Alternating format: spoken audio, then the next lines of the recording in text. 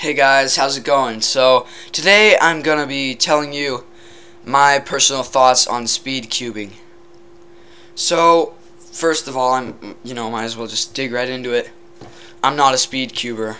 I don't, I don't really, I haven't really looked into it. Well, I've looked into it. I'll promise you I've looked into it. I've tried many times to become a speed cuber and only one of those times has actually been successful and that's the F2L. So I'll, you know, I'll probably make a video on that, a tutorial.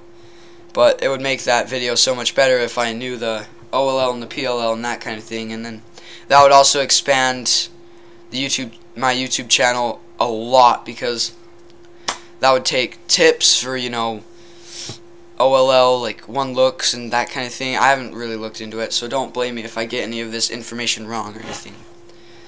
So, first of all, um, I've I've attempted the OLL and the PLL quite a few times, but it's just really overwhelming. I've I've even tried it a little bit at a time, and it just doesn't work for me. I can't.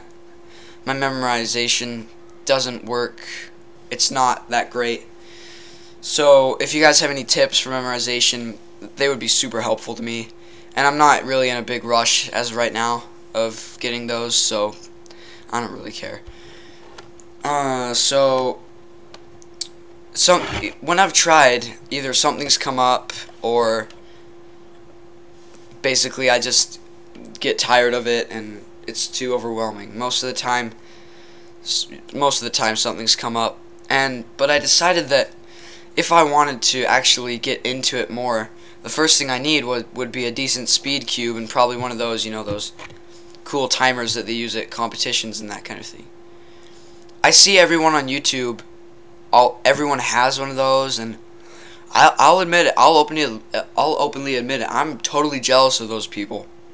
I wish I could solve cubes as fast as they could, and I wish I had that awesome timer I mean, I could get that easily, but what's the use having it if you don't have something to show off?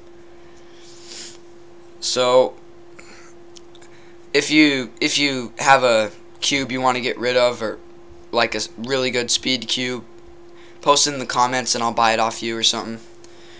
But as of right now, I'm really just trying to keep keep the puzzles coming in, you know, because I'd rather I figured out that I'd rather expand and cover a more broad variety of puzzles rather than focus on you know the 3x3 forever and and learn the advanced method the OLL and PLL but I've I've really thought about it and I just want to I want to try to learn speed cubing slowly and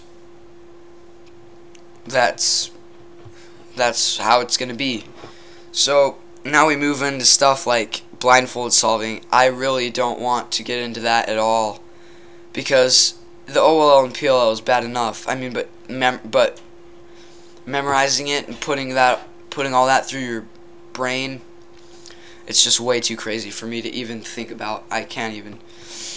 Oh, it's just mind-boggling when you see people do that successfully and also the same thing there with one hand. It, I, you know, I, and I think I have tried one-handed solving, and it just doesn't work for me. The only time that I would actually do a one-handed solve is if I broke my hand or fractured my wrist or something, and that would only be for a limited time, so it wouldn't even be worth it in the end. So that's pretty much my thoughts on one-handed solving. And it's pretty much all I have for you guys today. Make sure to subscribe for updates and watch my other videos. See you guys next time.